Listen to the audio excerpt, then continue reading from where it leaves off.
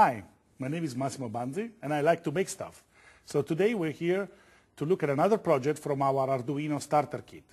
Today we're making the spaceship interface. This is a simple project designed to teach you about simple inputs and outputs uh, with Arduino. This circuit is going to show you how simple it is to connect a small button and a set of LEDs to the Arduino board and how you can control the, the LEDs through the button.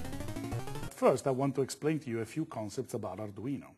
First of all, Arduino, it's a small computer the size of a credit card, as you can see here, that we can program using the Arduino development environment. I'm going to show you in a few minutes. So the idea is that we write instructions in the development environment, then we press a button that gets turned into an, a program that gets downloaded into the Arduino, and then the Arduino can interface with the outside world to implement any crazy project that you can come up with. So this project is very simple. We have a button connected to pin number 2 on the Arduino, and then we have three LEDs connected to pin 5, 4, and 3 of the Arduino. When I press the button, these two LEDs that are now blinking will stop blinking and the yellow LED will turn on. If I release the button, the two LEDs will keep blinking. So this is a very simple uh, circuit that allows us to control the behavior of these three LEDs from this button. Let's have a look at the code that we need to implement this behavior. At the beginning of the code, we have this line that says const int red LED 1 equal 5.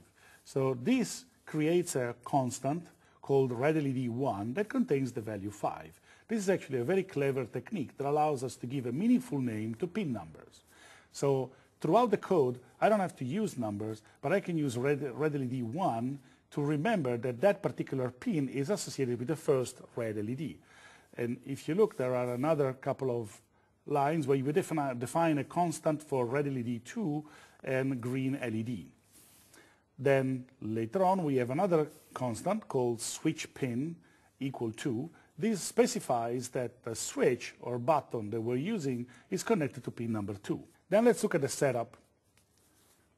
The setup is that part in your Arduino code that gets executed once when the board is powered on or reset, or this means also right after you upload some code into the, into the Arduino. And it, so as I said, this gets executed only once. So we see the instruction pin mode.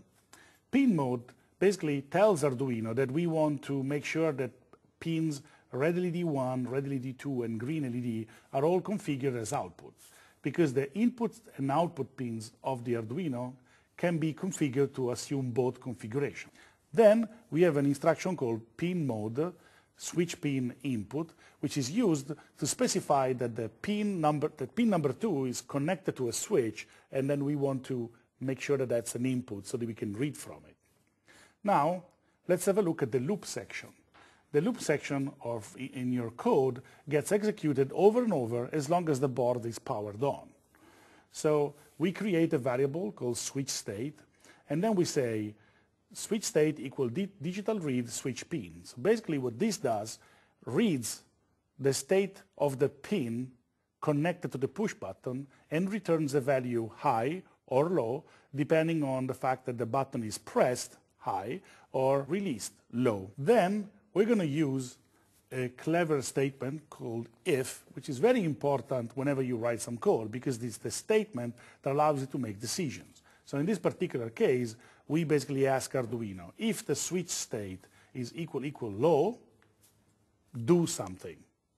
So in this case, we use the curly bracket to group lines of code together. So you can see that the uh, if statement is followed by a question, a condition that needs to be verified, and then a curly bracket that specifies which lines of code need to be executed when the condition is true. In this case, switch state equal equal low basically says if the button is not pressed, and then we follow that with a series of digital write statements that are used to turn on and off the LEDs and to implement this particular blinking behavior. After that, we have a delay of 250 milliseconds followed by a, a short blink cycle that happens on the other red LEDs. So the instructions that you see in this section of the if statement are used to implement this blinking behavior that you see here. Afterwards, there's a statement called else. Else is a statement that allows you to basically create a fork in the road in your Arduino code. With if, you can say, if something is true, execute this piece of code, and else says if that condition is not true, then execute this other piece of code. So you can have two different parts of your code that, get, that gets executed depending on the condition, if that condition is true or false. In this case, when the button is pressed, then we use two digital write to turn off the red LEDs, and we use one digital write, green LED high, to turn on the green or yellow LED like we have here. So if I press the button, the LED turns on. If I release the button, the LEDs are blinking. So this is all the code that we need in order to implement this behavior. I want to remind you that the code that's inside the loop statement will be executed over and over. So as you can see, the blinking pattern is executed, then Arduino reads the input, checks if it's true or false, and depending on that, decide which behavior to implement, and then loops back to the beginning. That's all for today. I hope you enjoyed the tutorial, and remember, build it, hack it, share it, because Arduino is you.